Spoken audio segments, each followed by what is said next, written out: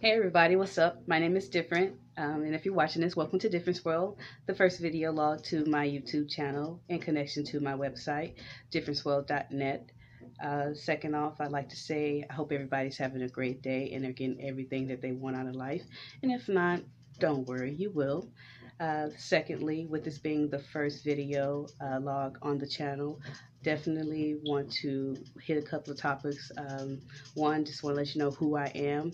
Two, uh, what my company, Third Eye Entertainment LLC, is all about.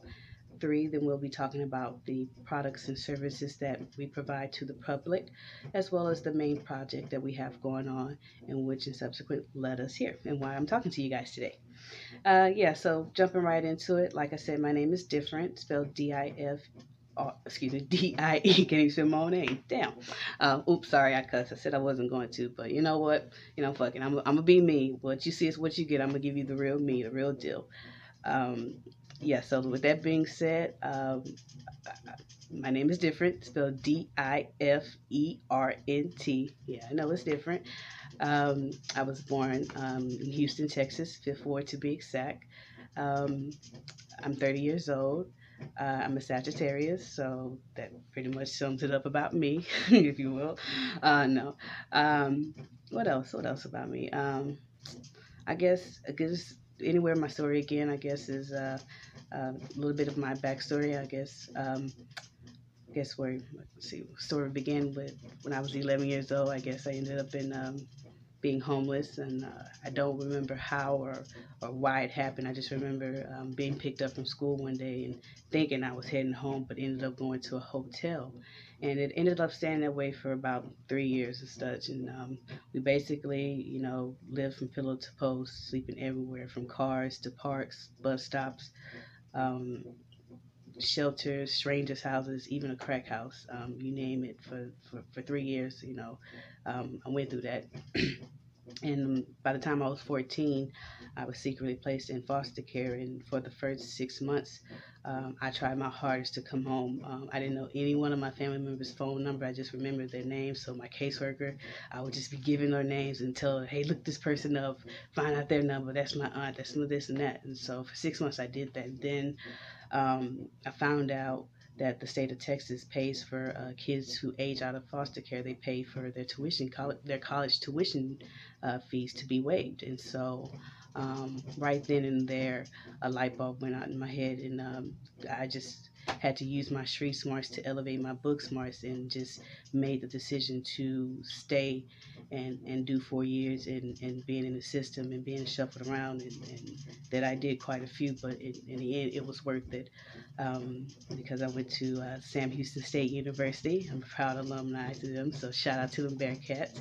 Also a member of the Beta Theta, Beta Theta chapter of Phi Chi Theta, so uh, shout out to the Phi Chi Thetas. Um, also, um, let's see, I got a bachelor's degree in international business as well as two minors in business communication and economics. Um, I also have a master's degree in entrepreneurship. And I am a Texas real estate agent. So, um, as you can see, I'm a woman with many hats, and I, I've always been that type of person. Even though through my trials and tribulations, I've just always been that type of person that just tr- triumphs through it and, and, and comes out on top. Um, and so that's a part of the reason why um, I have this website and, and, I provide these products and services to the public. Um, and so let's see what else. That that's pretty much in a nutshell my backstory. Let's talk about who I am as a person and, and what I'm all about. Um, let's see. As you can see, if you can't tell, um, my favorite color is purple. Uh, let's see right here. Usually my hair is purple, but it's dyed. I've got blue. Um, I'm real, real big on. Um, well, I got serious about it um, a couple of years, like three years ago, about um, just understanding uh, the more spiritual side of of myself, and that means, you know, um, meditating and praying and, and making sure that my chakra is cleansed and, and that my aura is, is exuberating positive energies out into the universe. Um, I'm really big on, you know, putting out good karma into the universe, because what you do it comes back on you. I've, I've, I've witnessed that. I, I, can attest to it on both on both ends. Um, so I, I, just try to put good out into the world. Um, in the past, I wasn't the type. I was the type of person that um, I, I, was. Uh, how can you put it? Like a gullible individual that uh, if somebody's negative vibe or energy would rub off on me, I would pass it on to somebody else. And so I had to stop that and get to a point to where I can gain control of myself and work on myself and, and fix myself from the inside out. Um, and that happened for me when I got real with myself and, and admitted, you know, that I needed to fix my past issues.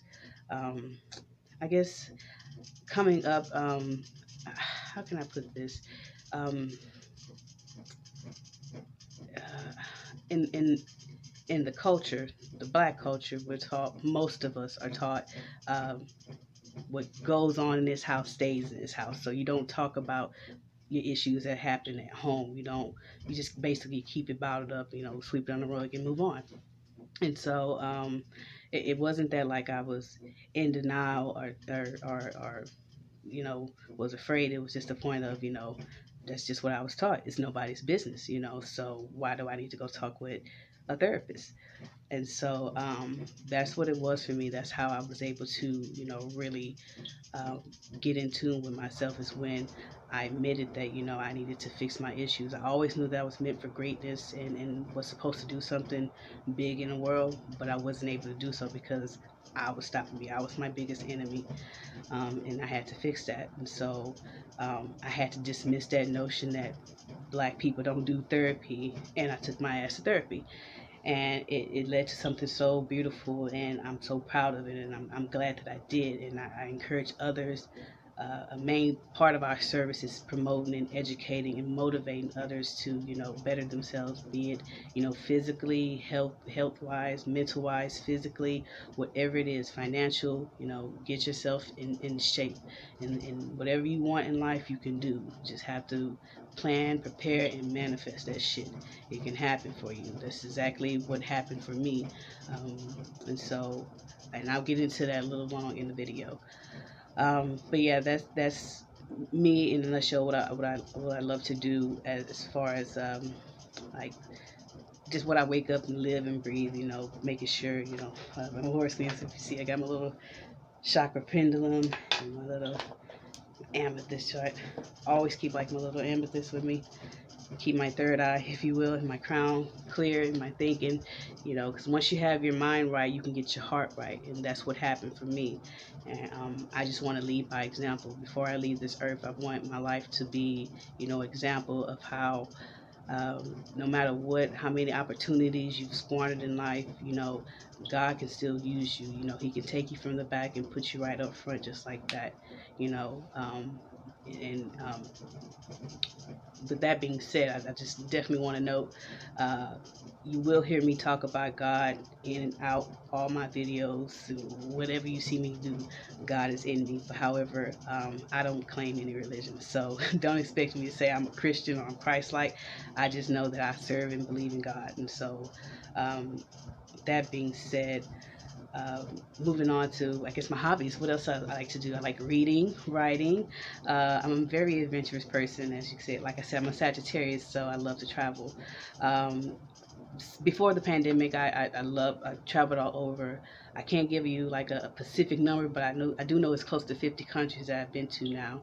Um, and so, uh, what else I like to do? Uh, before the pandemic, I did a lot. It's, just, you know, the, the, pandemic stopped me from doing a lot, but now I'm getting back at it, and I can't even give you so much name, but go to my website. It has more information at differenceworld.net. um, so what else? Yeah, those are my hobbies. That's who I am, what I'm about, uh, my backstory.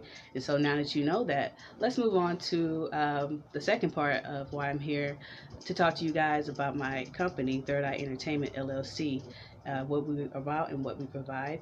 Uh, basically, in a nutshell, uh, Third Eye Entertainment is a company that provides educational yet entertainment services and products to the public. Um, and um, excuse me.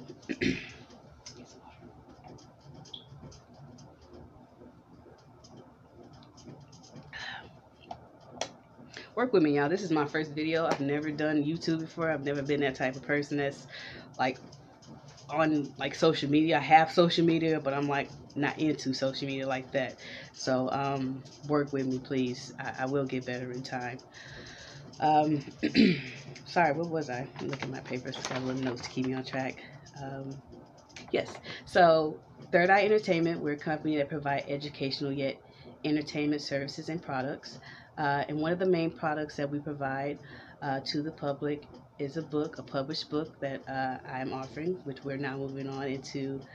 Um, oh, I'm sorry, I'm jumping a little ahead. Sorry, I, I, am um, sorry. Um, wish I could edit this out, but oh well. Like I said, what you see is what you get. You know, th this is me. This is Difernt. Welcome to Difernt's World. Uh, trial and error. I'm human. Um, so let's talk about the services side of uh, Third Eye Entertainment as far as services side will provide. Uh, what we provide to the public and services side is um, public speaking and motivational speaking. Uh, where that stemmed from, when I was a student at Sam Houston, I founded a student organization titled Paid For It. Uh, what that consisted of three sections of uh, education, volunteering, and mentorships to the youth uh, in, in, trouble, excuse me, that were in foster care as well as just the youth in general. So um, a part of the educational side is we used to go to different, me and a group of other, not just me, but a group of other college kids. We would go to different high schools uh, between Huntsville, Conroe, Houston, the Woodlands, um, any high school that would have us, we visited um, speaking to the juniors and seniors about uh, furthering their education and the importance of it and motivating them to do so. And so um, that part has always been with me. Even in high school, um, I wasn't, um, uh, I guess, uh, how do you say that? I wasn't popular. I wasn't, you know, I wasn't, you know, uh, like the, how do you say that? Can't look that word right now, but like I said, uh, Difernt's world. This is what you see is what you get. I'm sorry. Um, um, but in high school, um, I was just a very quiet person to myself. I guess put a word to it, I was a nerd, still am, very proud of it. I wear my nerd bed proudly. However, um, if you will ask anybody about me, uh, I was that nerd that was was not to be played with, if you will. So people knew that you know I loved to read. I was very smart, uh, but they knew not to play with me and bully me about that. So I never had that type of issue coming up. But um, I didn't have those type of talents as far as like with uh, basketball, volleyball. So um, I had to find something that was tailored to me. And uh, public speaking, um, how I ended up doing that, I got in debate. The team was full. However, uh, spelling the UIL team, it was still open, and I used to do it when I was in elementary. I did spelling bee. So um, you're looking at the real Akeelah and the Bee. Yeah, Keke, you stole my life, girl.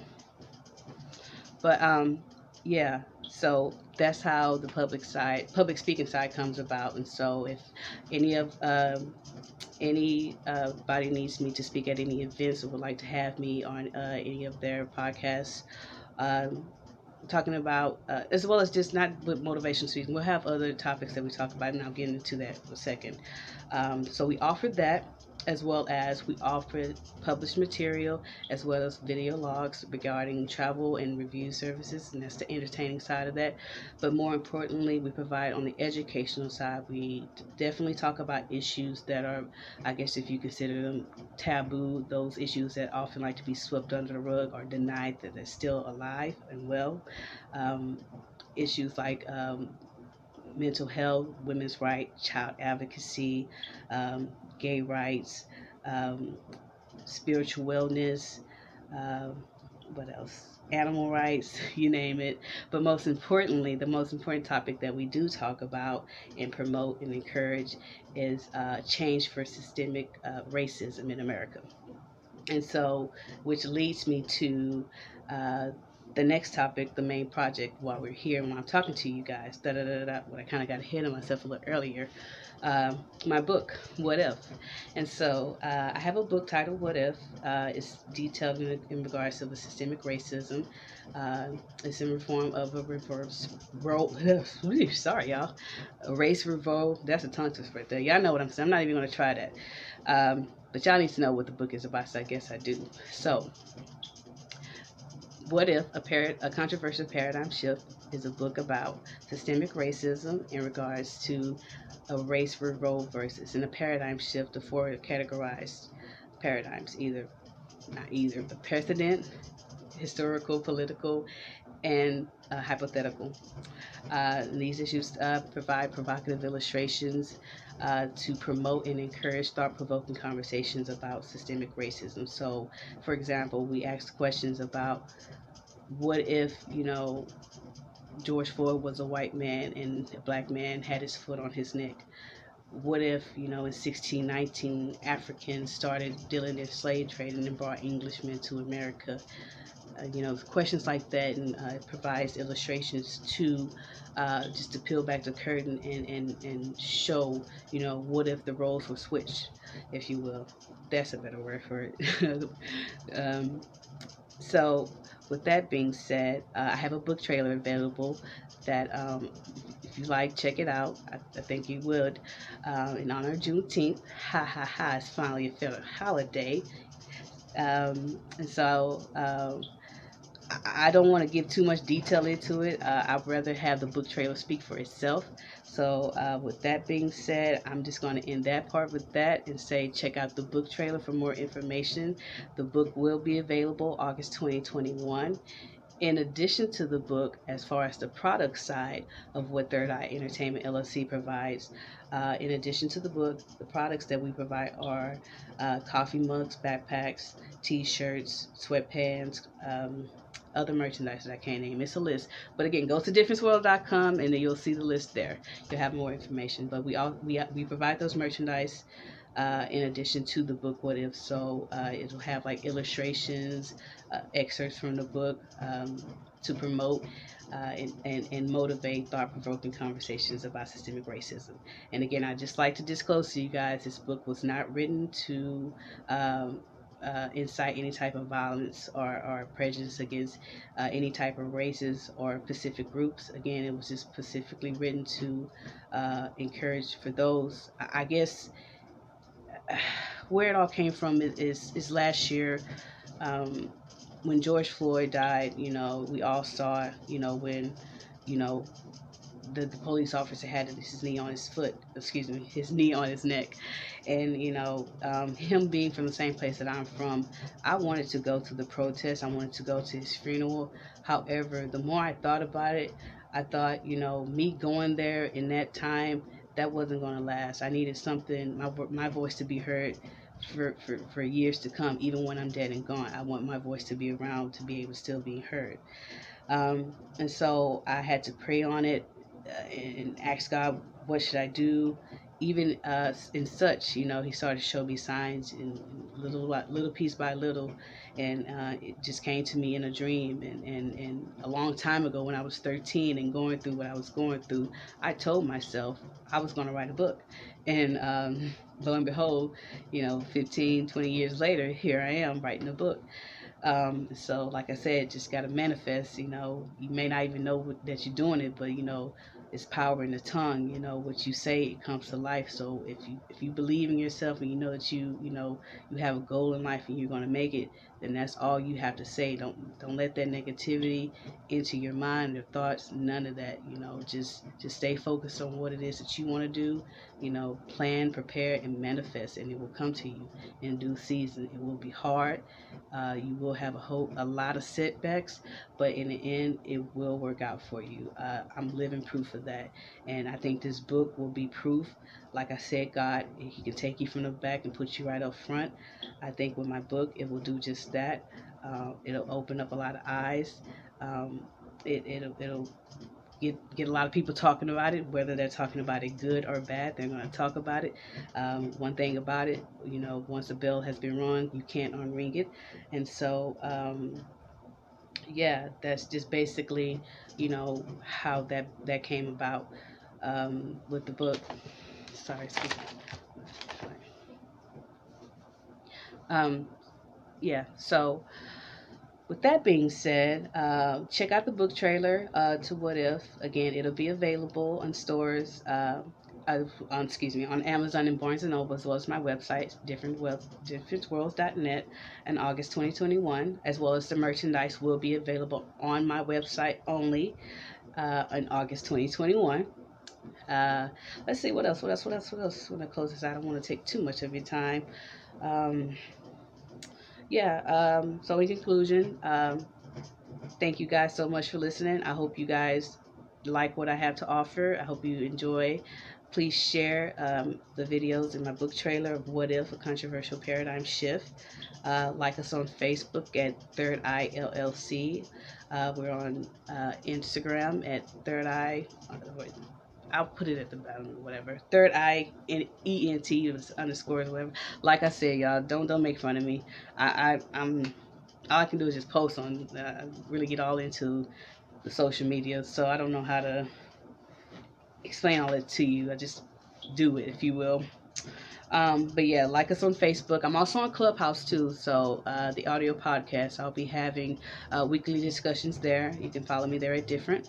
Uh, as well as what else? What else? Don't forget to subscribe. Hit that subscribe button. Um, and this, don't forget, you know, whatever you want in life, you know, plan, prepare, and manifest that shit. It can come, it can happen for you. So, with that being said, thank you guys. Have a good day. Um, and, and, and welcome to the Difernt's world. Now that I'm here, I have arrived, don't worry, I'm not going nowhere until they give my ancestors a 40 acres and a mule, which will be on the 15th of February. So I'm here to stay. so with that being said, y'all have a good day and um, yeah, stay tuned. Bye.